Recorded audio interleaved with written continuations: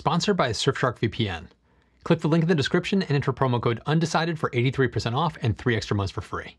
From smartphones and laptops to the rapidly growing EV market, we need an incredible amount of lithium ion batteries to make it all work, which highlights a little problem. Are there enough materials to make them? Materials like lithium are difficult and time consuming to extract and can have a major impact on the environment. Can nanotechnology solve our lithium extraction and mining problem? And maybe even help with solid state batteries? I'm Matt Ferrell. Welcome to Undecided.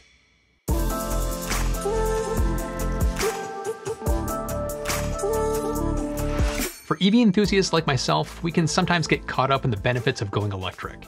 You no longer are burning fossil fuels to operate your car, or you have solar on your home and are storing excess energy in your home battery for later use. It's all great, right? Well, that's precisely the problem. Demand is outstripping supply. Our need for energy storage is growing dramatically. Lithium ion battery demand is expected to increase more than tenfold by 2029, and lithium supply is expected to triple by 2025. That increased demand puts pressure on the entire supply chain for battery production, which is causing a new gold rush, but this time for materials like lithium and nickel. I recently had a chance to talk to Teague Egan, the CEO of EnergyX, which is a small company that's looking to make a big difference using some fascinating nanotechnology. He put the scale of the demand between what we've seen in consumer electronics to where it's going really well. To put that into perspective, it takes 10,000 iPhones to build one car battery, right? yeah. So if you're talking about producing a million cars, which is essentially happening right now, we're, we're producing more than that per year, about 2 million. That's the equivalent of 10 billion iPhones, right? yeah. So, so, and this is the beginning. Like, this is, you know, Mercedes, BMW makes a, an electric car, but like, GMC, Ford, Volkswagen, like everybody is like, we're, we're coming, you know?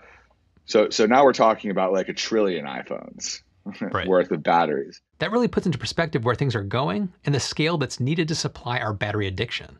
Now, while mining lithium, nickel, and other materials for batteries may feel like we're just trading drilling oil with digging for metals and salts, there is a big difference. Once you drill and then burn fossil fuels, they're just gone forever. Dig up lithium, nickel, or aluminum for battery and you can recharge it thousands of times, and even recycle it for brand new batteries.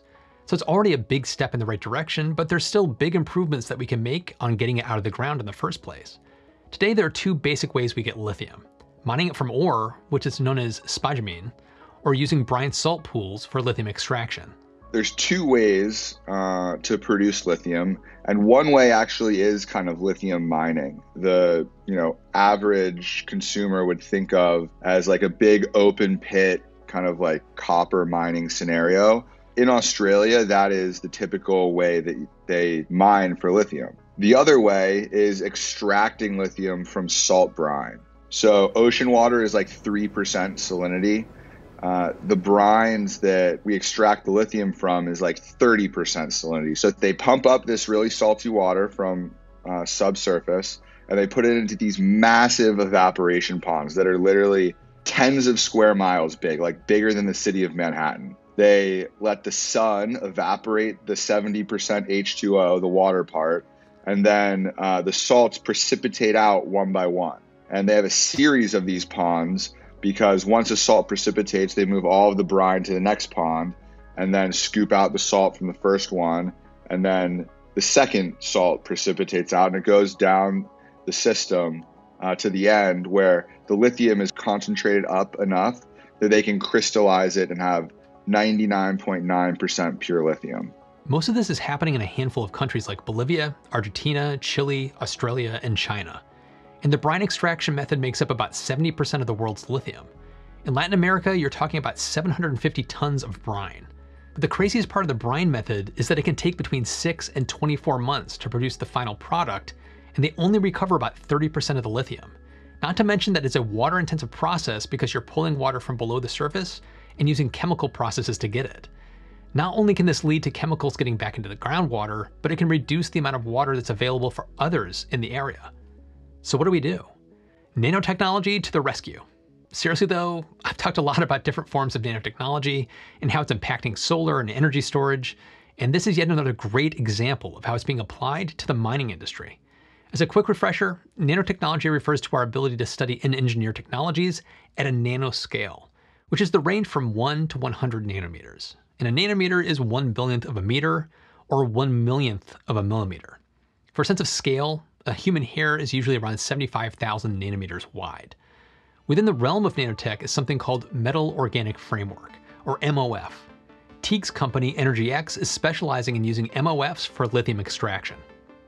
So a MOF is a nanoparticle that we discovered can achieve these incredible separations. They they have very small pore sizes and what they are is they're metal nodes like zirconium or aluminum. You know, these are these are metals on the periodic table that are connected by organic linkers like a carbon linker that connects these metal nodes and they have very high internal surface areas and uh, they have very small pore sizes where uh, a lithium can pass through but a larger divalent ion like a magnesium or a calcium is rejected uh, because it can't pass through. And they work in two ways.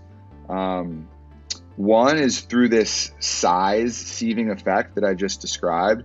The other is through um, kind of like an electrochemical affinity between the, the metal node and uh, the passing um, ion, right? So, like lithium wants to pass through and has a very good transport rate where some of the other ones, you know, don't want to pass through and are flushed out to the side.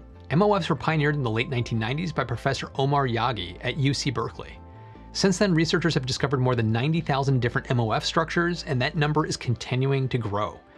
Teague built EnergyX from research at the University of Texas, and in Australia, Monash University and CSIRO. Dr. Huanting Wang's MOF research at Monash University was combined with Dr. Benny Freeman's membrane research at the University of Texas. So, how does EnergyX's use of MOFs compare to the mining industry's normal approach?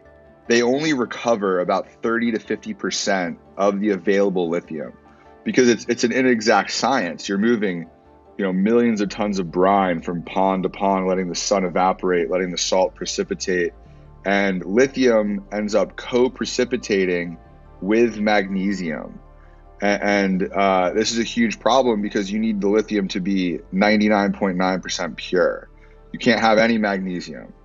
Uh, they need to concentrate it up to a, a pretty high level in order to final process it into the lithium and they lose all this lithium during the, the pond system during the 18 months. 70% loss is uh, unfathomable in any other industry. So how does a 90% recovery rate sound in comparison it's not just more efficient at extraction but it's very flexible in how you can integrate it into an existing mining infrastructure the way that our generation one works is that we uh, go right before that lithium magnesium co-precipitation, which is about three ponds into the sequence, put our membranes that separate the lithium from the magnesium so we mm-hmm. don't lose any lithium. You need to provide value to your customer. Right. Totally replacing the ponds does not provide value at this point. Right. So our generation one provides value that they want and need. And once we have maximized the capacity of the ponds and they can't produce any more lithium out of the ponds and demand is still growing and they want to bring on new capacity, then we can introduce our generation two, which is a full complete system that doesn't need the ponds. Taking the approach of layering in this technology into an existing process reduces the capital expense of setting it up, and it doesn't disrupt the costly infrastructure that's already there companies will get a huge uptick now in efficiency and still scale down the road without having to build out more brine pools, and eventually, hopefully, without any brine pools. One thing that's always fascinated me about technology breakthroughs like graphene, MOFs, you can pretty much name it, is how long it seems to take to go from breakthrough to market. I didn't used to understand the difficulty in going from lab to product, but the more of these videos I make and the more people I talk to, it's become very clear to me that it's crazy difficult to make that jump. I no longer ask, where's my flying car? And Teague's been experiencing that firsthand. Oh man, it is. You, you, when you say I'm experiencing it firsthand, you are spot on. Like, so when I read that first paper, uh, you know, this is my first rodeo in like doing this kind of stuff. uh, I read that first paper. I said, "This is ready to go." You know, let's let's let's sign up the biggest customers. We'll be in the in the we'll be commercial in one year. It's a it's a painful process. Like discovering that small thing on an academic level that is one millionth the size. Like we first discovered that metal organic frameworks could do these separations with one metal organic framework. So we literally etched etched a pore into a solid membrane that had no other holes. We grew one metal organic framework in one pore and witnessed that it was allowing lithium through and not magnesium. So now we have to, we so and then then the paper comes out and it's metal organic frameworks, you know, the next miracle material, and they're literally talking about one, which is which is like, I mean, I can't even. It's it's it's. Uh, I think a human hair is like 200 microns or something. Yeah. These are like a thousandth the size of a human hair. So to to scale that up into something where you have millions of metal organic frameworks and, and millions of square meters of membrane is, I mean, yeah, it's a hard process, right? But EnergyX is doing it. They're pushing to make this technology a reality, which has so much potential for future variations. It goes way beyond lithium. But before I get to that, I'd like to thank Surfshark for sponsoring this video. I always use a VPN when traveling to protect my privacy online because free Wi Fi doesn't mean secure Wi Fi. Surfshark encrypts all of the data that you send over the internet so your passwords, messages, photos, videos, and whatever you're doing online stays private. But VPNs can be very useful even when you're not traveling. A lot of online services use some pretty sophisticated commercial targeting and tracking. A VPN can protect you from that. With Surfshark's Clean Web, it will block ads, trackers, and malicious websites, making it safer to use the internet even at home. One of the biggest parts of Surfshark is that it's easy to set up on all of your devices, whether that's iPhone or Android, Mac or PC. Surfshark is the only VPN to offer one account to use with an unlimited number of devices. Use my code to get 83% off plus 3 extra months for free. Surfshark offers a 30-day money-back guarantee, so there's no risk to try it out for yourself.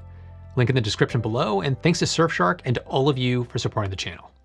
So where else can MOFs go? What about improving health and saving lives?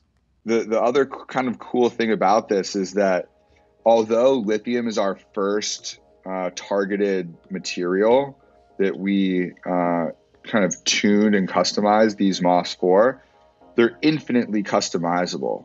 So you can add like little pendant groups or different types of linkers that shrink the hole or uh, create different affinities uh, and do different types of separation. So one separation that we saw other than lithium was the separation in fluorine and chlorine. This this happens to be a very important separation in the country of India, their water infrastructure. So they have really high amounts of uh, fluoride and fluorine, and that is detrimental for the bones. And people are drinking these and getting all sorts of bone disease and bone decay. And if you can have a, a filtration system that sep- that lets the water and, the, and chlor- chloride pass through and stop the fluorine, you know, that's that's important. So basically, this could be evolved into any number of other technologies of, you know, like desalination plants, water purification. Yep. There's other things exactly. that there's a lot of potential for taking this technology and scaling it beyond just lithium extraction. Huge potential. Like we're focused on lithium, but you have to you can think about like the agricultural industry, pharmaceutical industry, uh, wa- water infrastructure industry. And one of the additional uses for MOFs is something that Teague brought up in our conversation, and one that I'm pretty passionate about: solid state batteries. If we have this this solid membrane uh, that is separating and transporting lithium through it with such high efficiency, I wonder how uh, using that same membrane in a battery would work. Because in a battery architecture, you have your anode and you have your cathode, and then you have uh, a separator, which is right now a liquid state electrolyte. And it just so happens that at the University of Texas, uh, Dr. John Goodenough is in the lab right next door to Benny Freeman. so I said, what better person to try this hypothesis than one of the top battery researchers in the world? So we were able to um, partner with his lab and we work with some of his PhD students. We're going through iterations of tweaking it and uh, figuring out, you know, some some things that uh, could make our membrane into a very high quality solid state electrolyte. Clearly, it's very early days in the research aspect of that, but it's another great example of where this technology could go. We're still in the early days of nanotechnologies like graphene and MOFs, but they're shaping up to have a big impact on EVs, renewable energy, energy storage, and mining.